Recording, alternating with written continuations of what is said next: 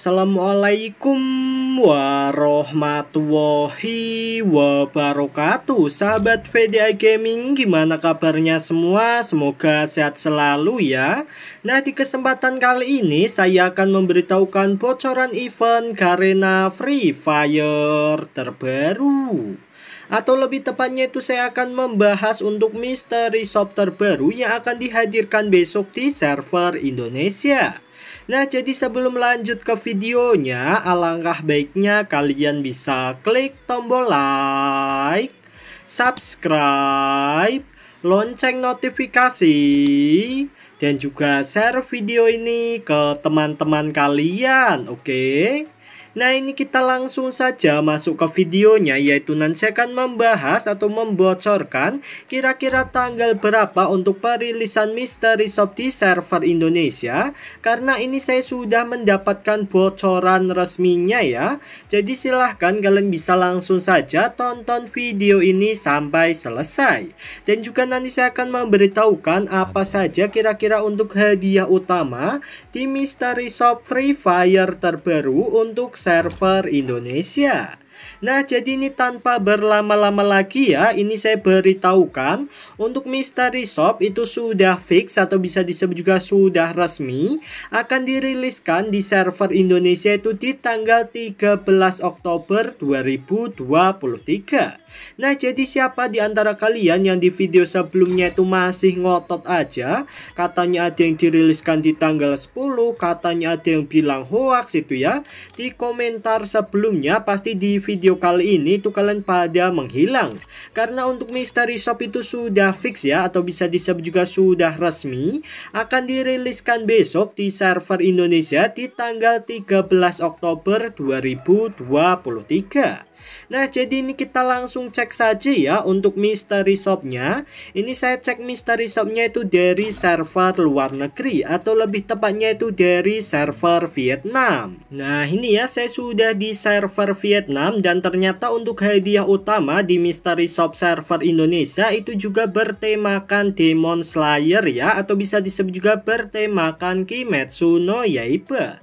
Yaitu berhadiahkan utama adalah bandelnya Nezuko dan ada juga bandelnya Zenitsu ya. Tetapi ada hadiah utama satu lagi nanti saya akan tunjukkan ke kalian hadiah utama satu laginya seperti apa di server Indonesia. Jadi silahkan kalian bisa tonton video ini itu sampai selesai.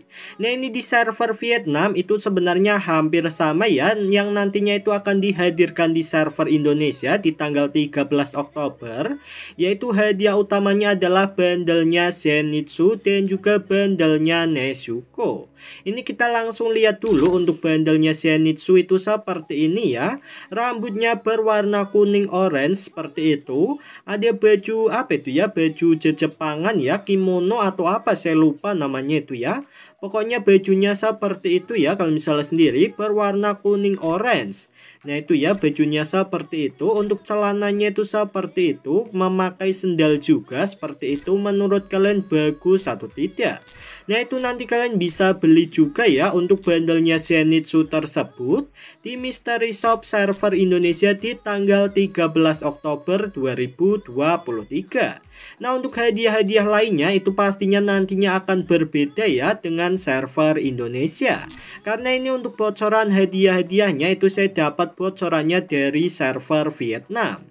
Nah ini yang selanjutnya untuk hadiah utamanya itu ada bandelnya Nezuko ini ya. Untuk bandelnya Nezuko tersebut itu juga sudah fix atau bisa disebut juga sudah resmi.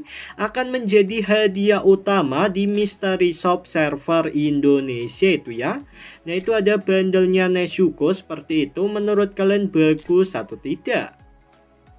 Rambutnya panjang ya seperti itu.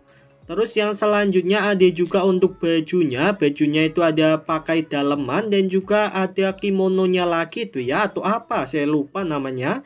Bagi kalian yang tahu silahkan kalian bisa komentar di bawah itu ya. Terus ada juga untuk sendalnya atau sepatunya itu untuk Nezuko itu saya kurang paham itu memakai sendal atau sepatu. Terus yang selanjutnya pastinya di server Indonesia kemungkinan besar itu akan ada name check card juga ya atau check name card. Terus untuk yang selanjutnya ini di server Vietnam itu ada Katana Lobby ya. Nah kalau di server Indonesia itu apakah akan ada Katana Lobby juga bang?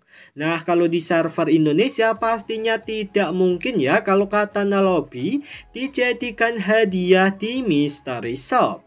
Pastinya kalau di server Indonesia paling hadiahnya loot crate loot crate batu evokan, lalu ada juga voucher inkubator, terus ada juga cek name card, ada juga hadiah utamanya yang tadi yaitu adalah bandelnya Nezuko dan juga bandelnya Zenitsu.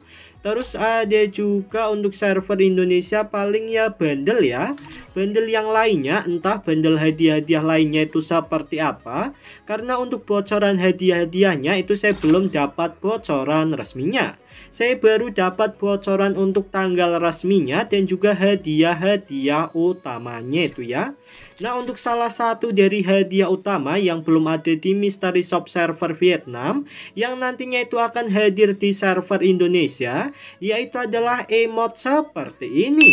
Nah ini kalian bisa lihat ya ini juga salah satu hadiah di Mystery Shop yang nantinya akan dihadirkan di server Indonesia yaitu adalah emote pernapasan listrik trik dari Zenitsu ya seperti itu Nah itu untuk emotnya itu adalah emot tidur dan tiba-tiba mengeluarkan listrik ya seperti itu sangat keren sekali Nah itu jadi silahkan kalian bisa tunggu saja ya untuk hadiah-hadiah utama di Mystery Shop server Indonesia yaitu ada bandelnya Zenitsu lalu ada juga bandelnya Nezuko terus ada juga emot listrik seperti ini tuh ya Nah itu jadi silahkan kalian bisa tunggu saja untuk mystery shop tersebut. Itu sudah fix ya atau bisa disebut juga sudah resmi. Akan diriliskan besok di tanggal 13 Oktober 2023 di server Indonesia ya pastinya.